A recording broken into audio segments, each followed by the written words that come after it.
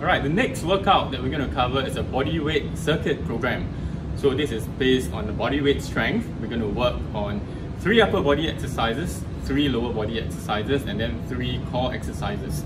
So it's split into three levels of fitness level. So if you're a beginner, you can work 30 seconds, rest for 30 seconds. If you're intermediate, you're going to work for 45 seconds and then you're going to rest for 30 seconds. And if you're really advanced and strong, you're to work for 60 seconds, rest for 30 seconds. So pick your own intensity level and enjoy that workout.